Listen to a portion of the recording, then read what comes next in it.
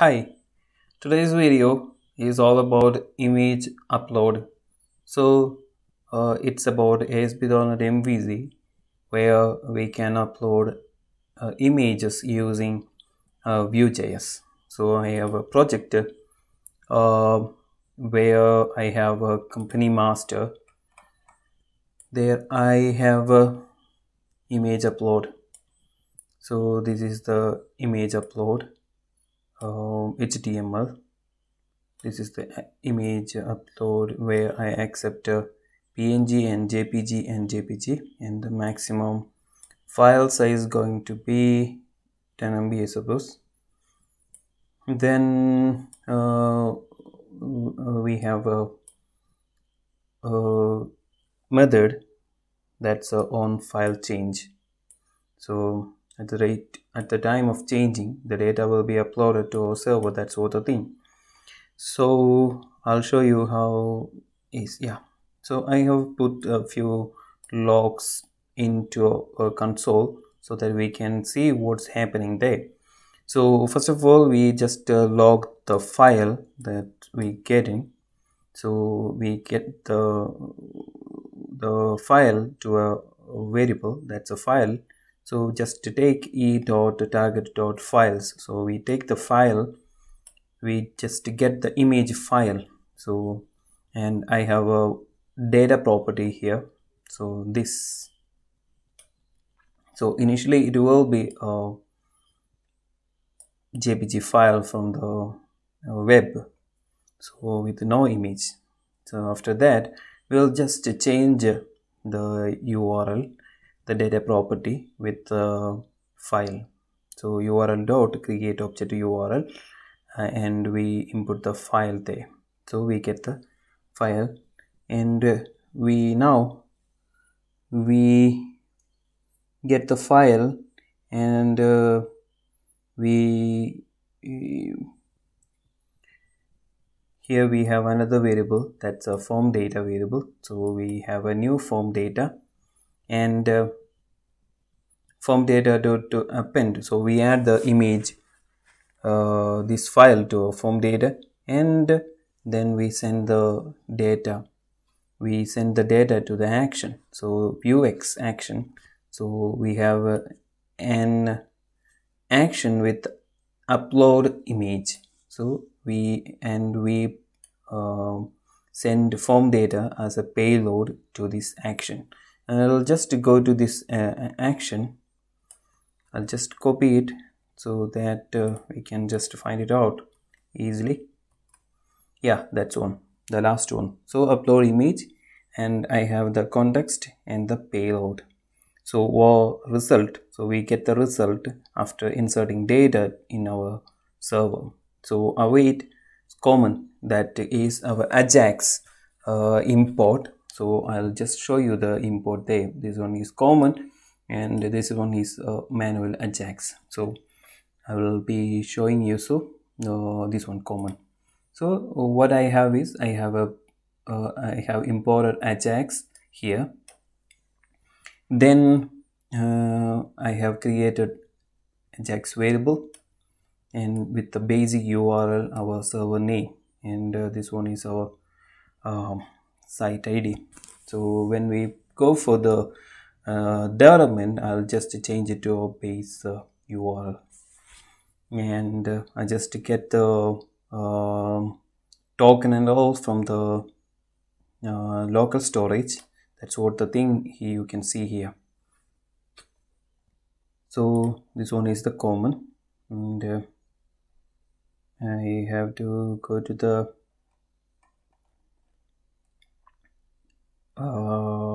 uh, store their actions. Okay. So we have a, a api that's going to be item slash image upload. So in the item controller we have uh, an action called image upload. So the image upload will receive this payload with the headers. So we just we just add the header that's a, a content type equals multi-part form data that's what the thing. So we get the result back and uh, context dot commit deleted items. And this one is not working anyways. I'll just uh, comment it um, just uh, keep it here. But it we will get another result so it will not be working. So just put it uh, for the development purpose. Now oh, I'll go to the backend. This is the backend where you can see the HTTP post attribute to our action result. So this is a HTTP action result uh, with API uh, controller and uh, and it has an action called image upload. So this uh, place where we get the image back to us um, our control the image from the view x or Vuex or uh, ajax call will be called to this image upload. That's what the thing. So after uh, when we get the um, file we do something like this. So for that i'll show you uh, the real way. So i'm just running the server and uh, it's uh, running. Yeah. Uh, we have got running this uh, server and it will just load. Uh, will not do anything else because we are going to work from the front end that's from the visual studio code. So i'm just going to take a new terminal where I will put npm run serve to uh, start this uh, as a new web development server. So I'm just waiting for that. So it's a starting development server. We'll wait. Yeah. Now it has uh, started and we have a local and a network. So anything we can use. So for the moment I'm just going with the local.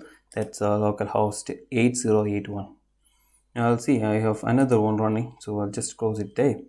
So 8081 and I'm asked to enter the username. And for this moment I'm just putting it admin admin and it will log in again. So I have created a few forms here but uh, I'm not going to use all these forms but only this form the company master. So when I open the company master I'll get a button here. So when clicking a button it will open uh, a dialog box. So in this place i'm just uh, entering few data but uh, i'm not using this anyways. So again i have a, a no image available. This is a, uh, a picture from, we are getting from the another server. So we can so before that i'm just going to see oh, okay. We have a debug section here. So when i change uh, image here i will get the data here. So i can just go on debug.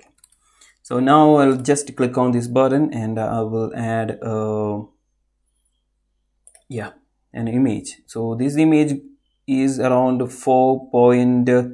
4.5 MB so let me see if I can I can be able to upload this large file. So yeah.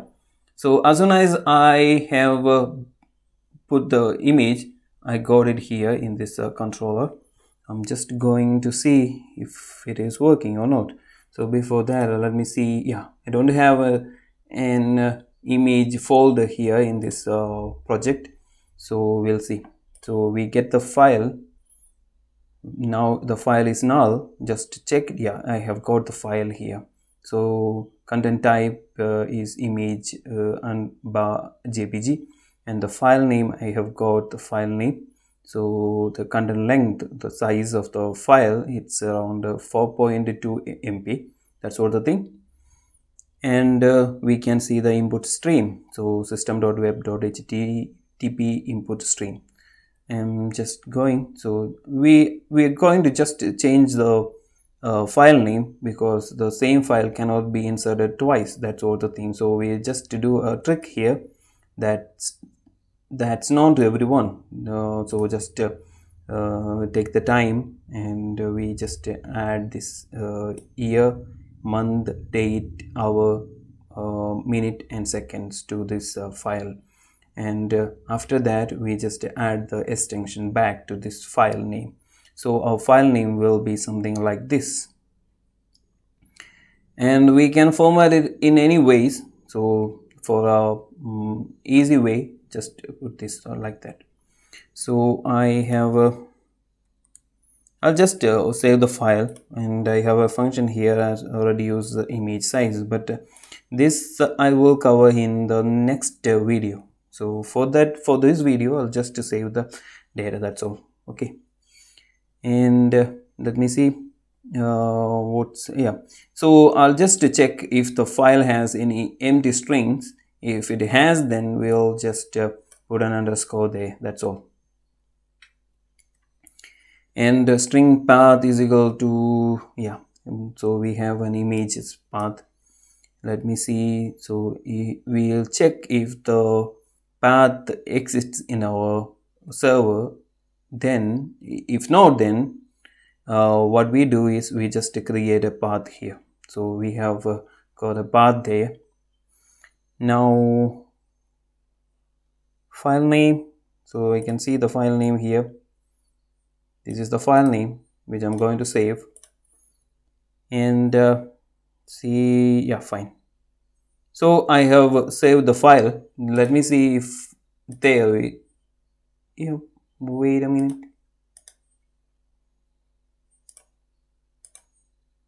Yeah I have got an image folder there. Just me let me open with the open folder in Explorer. Yeah I have got the file and with the same size that's a 4.05 MB so I have got with the same name. So you can just check the file name here see this is the file name in this file. Okay.